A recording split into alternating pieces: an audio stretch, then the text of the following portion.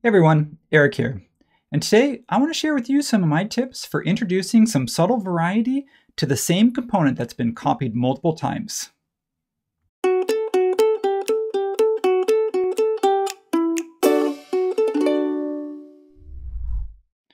Okay, so when I work with vegetation components, sometimes what I'll do is I'll copy the same tree over and over and over again, but then when I kind of stand back to look at it, I can it makes my composition feel a little bit stiff or rigid because it's the same component and it's the exact copy over and over again. So what I like to do is to go in and add some subtle variation in order to sort of mimic the way that vegetation is in real life, in which case, even if it's the same tree that's planted in the same location and it's the same size, you're still going to get a little bit of variety. And ultimately, I think that's going to make for a better design and a better composition. So join me and I'll show you how to do that now. Okay, so to save time, I've already arrayed my street trees here. Um, got them about 15 feet apart and there's 10 of them. So maybe from this angle it looks okay, but if I spin around just a little bit, here you can see that repetition really starts to show. You're getting the same tree edge, the same trunk, the same height. It kind of makes my, my, my street tree design maybe here look a little bit flat, a little bit static. So let's look at a few different ways using just native tools to sort of break down that repetition just a little bit.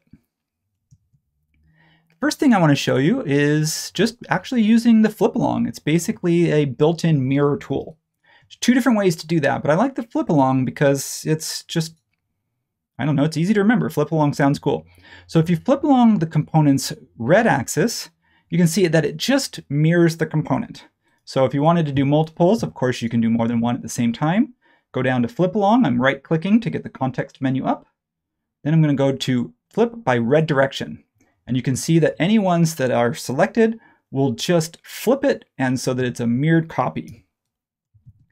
Now another way to achieve that is actually using the scale tool. Some people prefer the scale tool just because it gives you a little bit more control. You don't have to worry about which axis and then of course you can change the scale um, factor if you want. In this case, what I'm going to do is select this. If you want, I'll go over and grab the scale tool from the toolbar. I'm used to using keyboard shortcuts.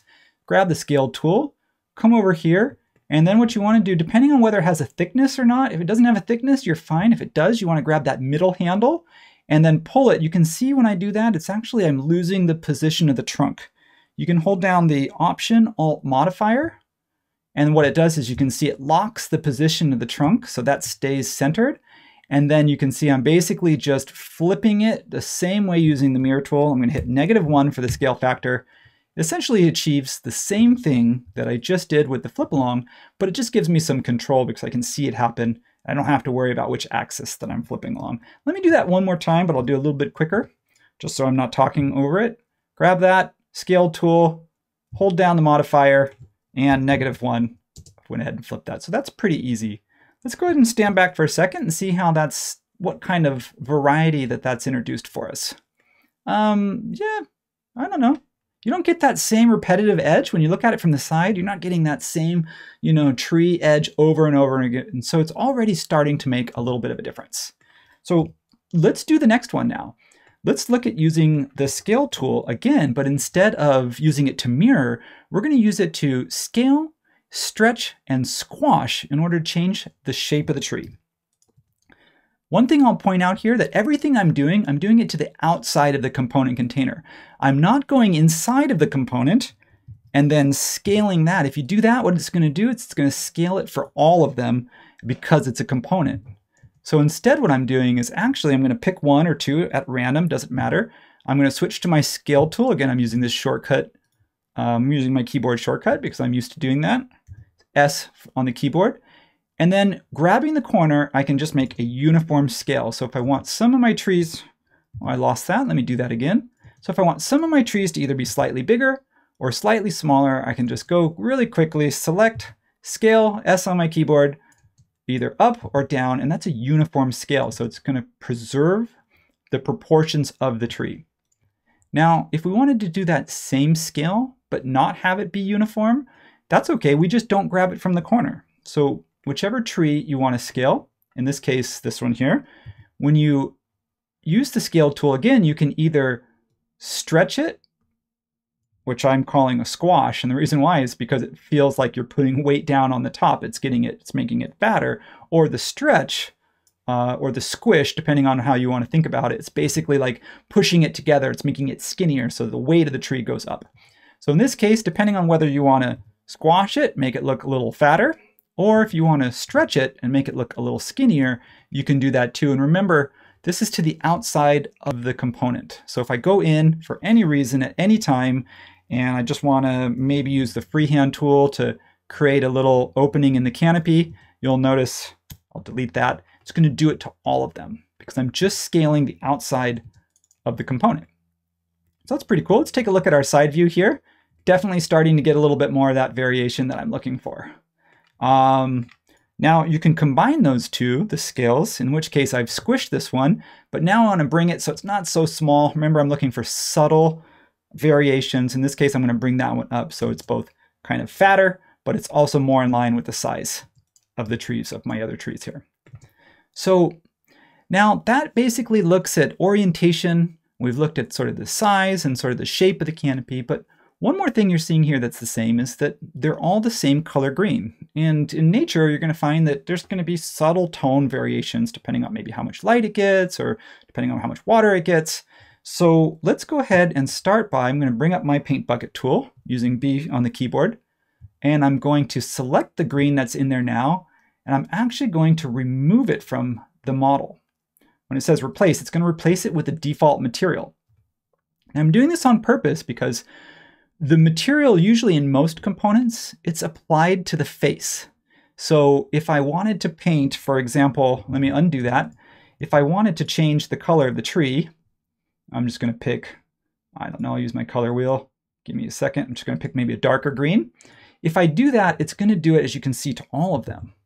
So by going back and removing, I'll do that one more time. I'm going to remove the green that is on the face currently what it's going to do is it's going to allow me to place a color on outside of the component. So just like I, I mirrored and squished and scaled the, the component container, I can do the same thing with my materials.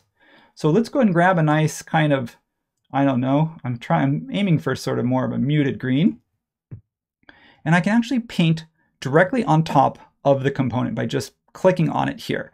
But this is where it gets kind of fun. I can just, using my slider, I can just make a lighter tree, or using my slider the other way, I can make a darker tree.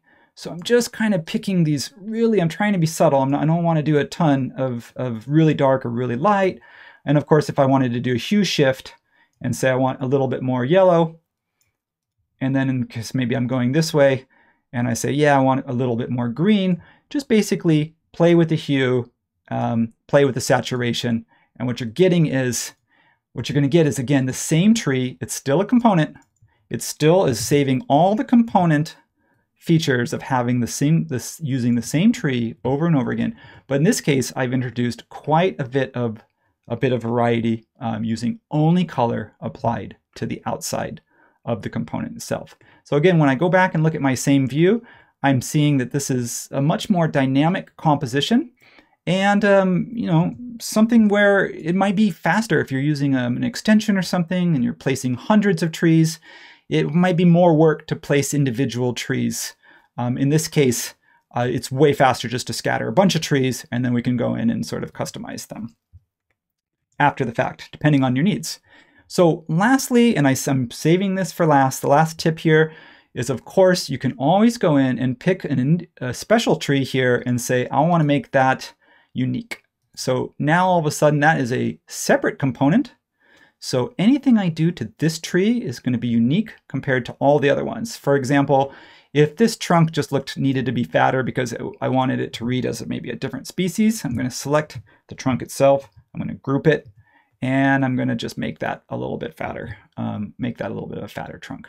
So now all of a sudden, because I'm actually editing the geometry inside of that component in order to make this one look different, I had to go inside, I had to make it unique first. Otherwise the trunk would um, fatten up for all of them.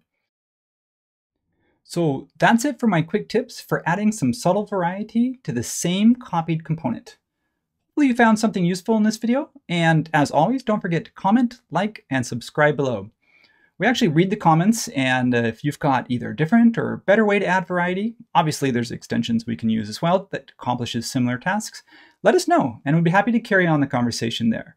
So thank you so much, and as always, see you next time.